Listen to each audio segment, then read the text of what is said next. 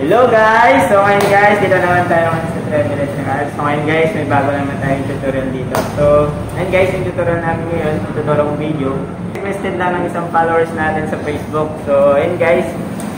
Ah, so, nakita niyo naman, video busy tayo sa mga nakakaraw, kaya ngayon tayo makapag-upload ulit ng bagong video. So, ayun guys, nirequest ng isang followers sa Facebook yung two switch with one outlet. So, ayun guys, samahan niyo ako. Tara. So yun guys, sa paggawa ng pag-wiring ng 2 switch with 1 outlet, so kailangan natin ng dalawang bulb para sa dalawang switch natin ito guys. Isang breaker, sa itong dalawang switch, sa isang outlet. Importante, ang pinaka-importante yung mga wires. So ayun guys, meron na kaputol-putol na yung wires natin para ready na sa pag-video. So para tuloy-tuloy na tayo. So yun guys, nakikita nyo dito, mayroong iba't ibang klase ng butas dito sa outlet, saka sa switch. Yan guys. Ayan. Ito yung outlet natin. Ayan. So yun guys, yung wire na pula, ito yung sa line 1 natin. Saka yung dilaw naman na wires, ito para sa line 2. So unahin natin mula dito sa breaker, syempre. Magla-line lang mula dito sa line 1 ng breaker. Ayan, nilalagay natin yung pula.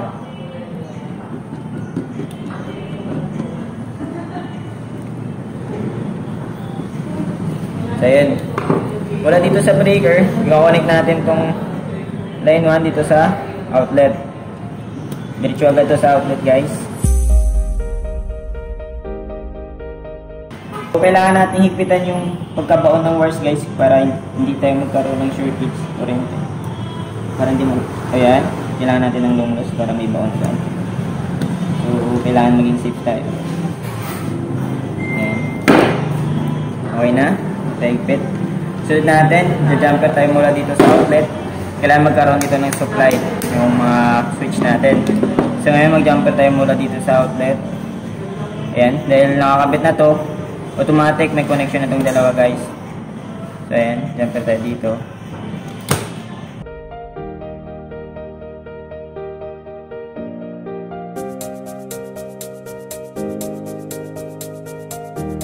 So ayan guys, naka-jumperan tayo sa unang switch. Sunod sa pangalawang switch naman, jumper naman ulit tayo dito mula dito. Ayan, dahil connected lang naman to guys, yung dalawang to, dalawang butas na to, naka-connect lang to.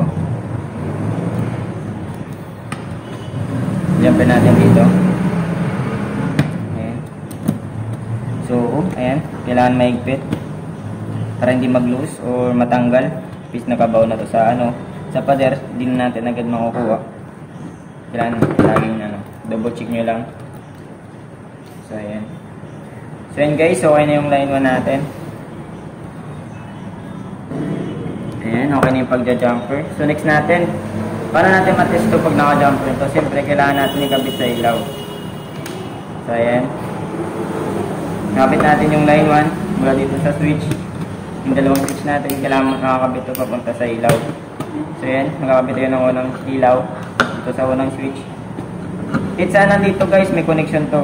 Pwede naman dito or dito. Ah, dito na lang natin.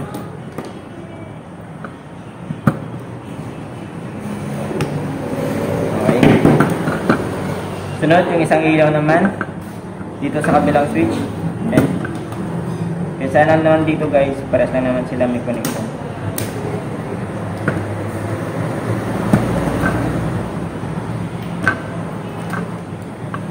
Ayan.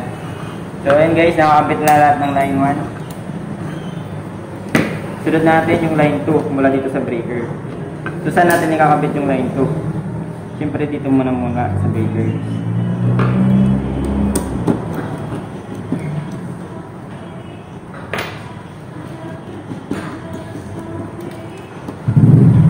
Mula sa breaker, kakabit natin sa outlet.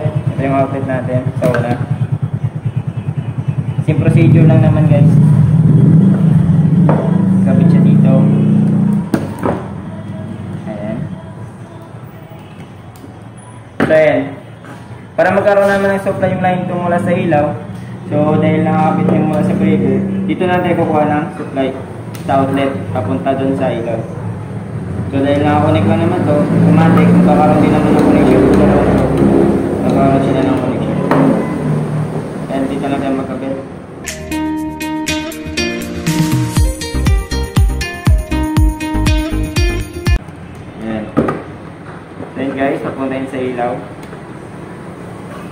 Today, wala tayong junction box. Bali, gawagawa lang natin ito. Pagsamasamayan na natin to guys.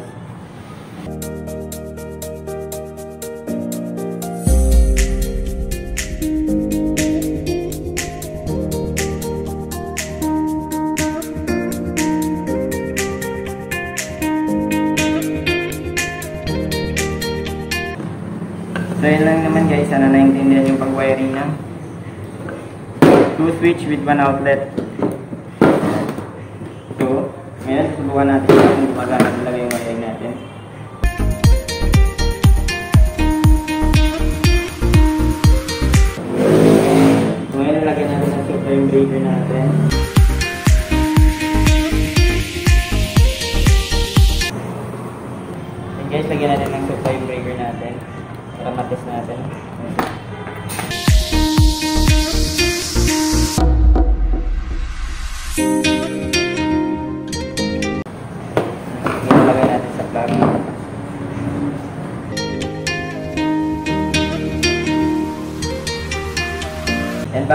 Natin isaksak, kailangan natin i-tester para kung tama yung natin.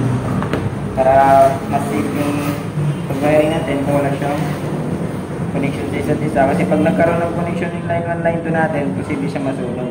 Sasasabog yung mga outlet natin. Ayan.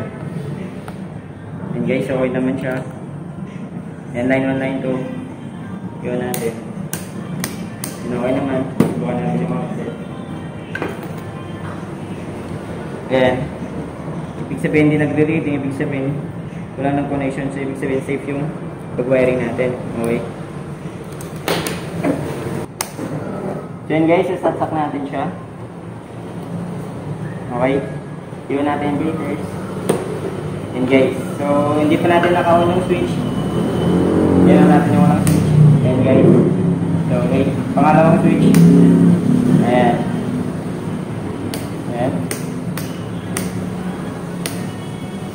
Ngayon guys, itest natin yung outlet. Magamit tayo dito na circuit tester. Ayan. And umiilaw, so ibig sabihin, tama yung pagka-wiring natin. Ayan. So, yun lang naman guys sa tutorial na to. Sana may natutunan na naman kayo dito sa videos na to. Saka huwag kayo magsawang mag-suporta sa, sa Facebook namin. Saka guys, huwag nyo na rin kalimutan mag-subscribe and click nyo na din yung notification bell para updated sa mga susunod videos namin sa YouTube. So, ayun guys, God bless you.